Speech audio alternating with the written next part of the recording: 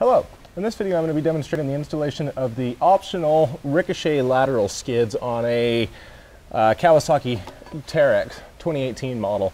Um, these just protect the, uh, the rear footwells. Um, there's not a whole lot there to protect except for your passengers. So, like I say, these are an, an optional accessory piece that we offer. Um, so let's get started on this installation. This is just uh, clamps is how this is going to mount. So you'll have uh, three clamps Two of them are going to be marked four. One of them is going to be marked six. The ones that are marked four are going to hang on this tube back here. Now you can see this plastic comes all the way down to the tube. To get these on, all you have to do is just push and you can push right through that plastic and you can get it hung around the tube. Do the same thing again. There's two of these. Okay, so those are in place. Now you've got a third clamp here. Now this clamp, it's gonna run, it's gonna mount in this section right here, you'll see that this is kind of boxed in and there's one open spot and that's where this clamp is going to sit. Now this is the exact same installation for both sides. I'm just going to demonstrate the one side in the video. But on the other side, there's actually a little heat shield that's kind of in the way to get this clamp in there. You can see the clamp will just fall in on this side. On the other side, there's a little bit of a heat shield there. It's super easy to just, you know, uh, just pry slightly, bend out of the way in order to get your clamp in, and then you can go ahead and bring the heat shield back. No adverse effects there whatsoever. Um, that's just about the only difference between the two sides. Um, like I said, I'd show it, but it's just kind of hard to see. You'll see it when you get there. This side, there's no issue at all. Like I say, that clamp just drops right in, and that's really about the only place it can go. Um, like I said, the same side is the exact same way. It just has that heat shield that keeps you from getting it around the tube. So you just kind of have to pry the heat shield out so you can work the clamp in and then you can just push the heat shield back once the clamp's in place and, and you're set, you're good to go. Um, so now we can actually get the plate in, into position and start our hardware. Um, you're gonna wanna use anti-seize on all of these bolts. You can see you've got the, the two longer bolts and the shorter bolt. The two longer bolts are gonna go in the rear mounts via through the longer spacers. This spacer here, there's no hardware mount. That is just a support that's going to butt up against this frame here to give it, you know, just some uh, rigidity, just some uh, support from the backside. And then your uh, short bolt's going to go in this front mount with the slot. So again, the one with the circle, that's not being used for anything. All that circle is is just a, a location for us to weld that spacer on. So there's no hardware in that location at all.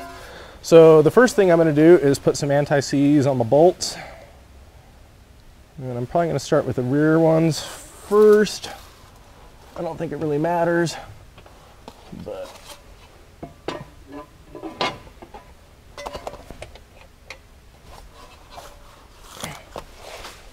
So this plate, you kind of have to snake it into position a little bit. It's actually, it's going to fit pretty tight.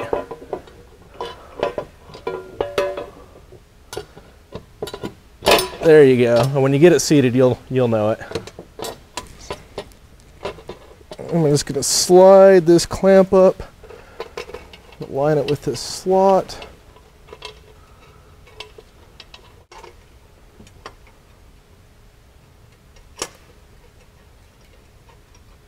There we go.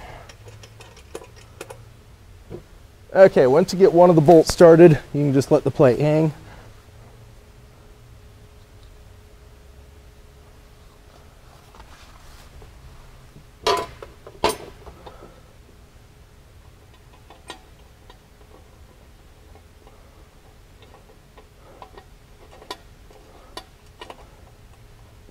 Got that one started. And that just leaves us one more bolt.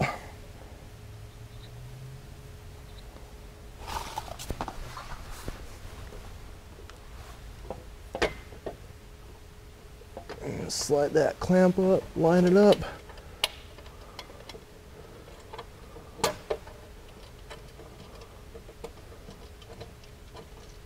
And start the bolt. Once you have all three started, all you have to do is just tighten it down.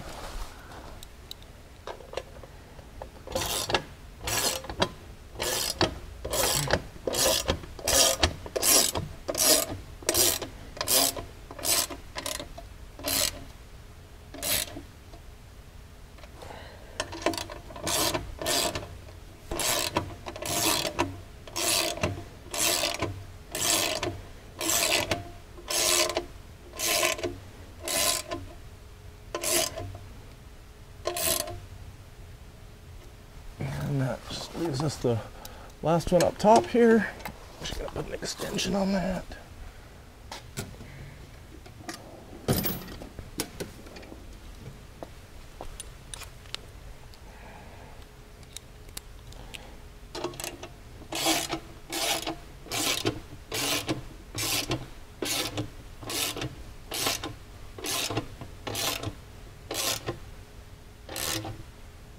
Okay, that's that. That's the uh, the inst- installation of these lateral skids. And like I say, that'll give you good protection for your passengers. You know, nothing can get up and get into this uh, thin plastic footwell, come puncturing through or whatnot.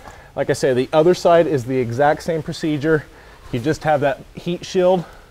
You're just gonna have to get a screwdriver in, pry the heat shield out of the way, put the clamp into position, and then you can push the heat shield back into place. Um, but that's the only difference between the two sides.